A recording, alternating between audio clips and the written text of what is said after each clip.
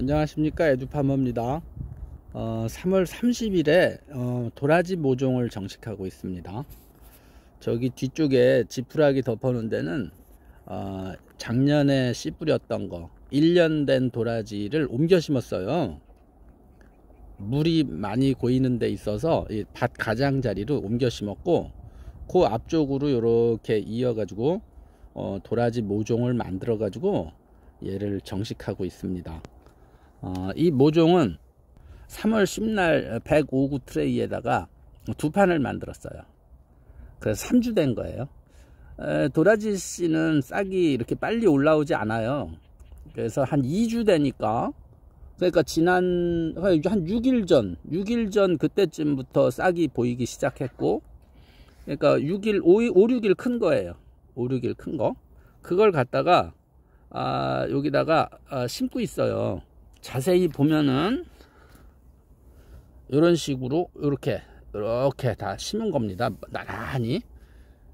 아, 자세히 볼까요? 여기도 보면 이런 식으로 다 이렇게 있죠? 이렇게 다 있죠?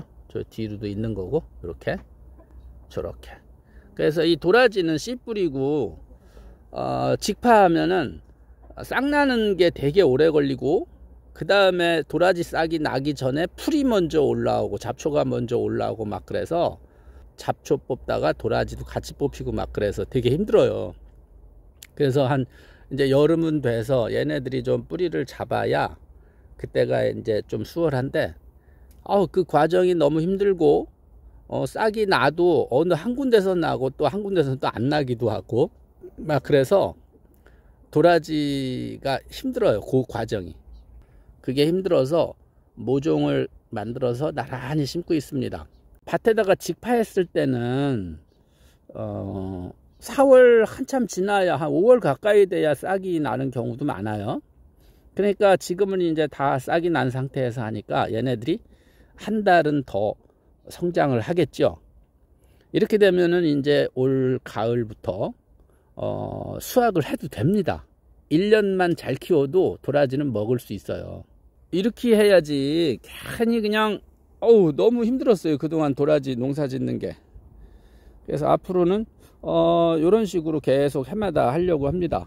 그러니까 많이 안 심고 한 이 105구 트레이에 두 판 정도만 해도 충분히 먹고도 남을 것 같아요. 그래서 해마다 이 두 판씩만 이렇게 만들어서 어 도라지를 어 재배해 보려고 합니다. 뿌리가 어 뭐 길게 뻗은 게 아니기 때문에 어 이게 이 모종을 잡고 하면 이게 이게 상토째 같이 올라오지 않아요. 그래서 이 트레이를 잘라 가지고 하나하나를 이렇게 살짝 뒤집으면은 쏙 빠지더라고요. 그렇게 해가지고 지금 저렇게 해서 그냥 손가락으로 구멍 뚫고 그대로 넣으면은 그게 이제 심어지는 거예요. 어, 보여드리면 좋은데 제가 혼자 하는 거라 이거 이건 뽑을 수가 없어요 한 손으로는 그래서 말씀으로만 드렸습니다. 아, 이제 또 여름에 크는 것도 보여드리겠습니다. 에듀파머입니다.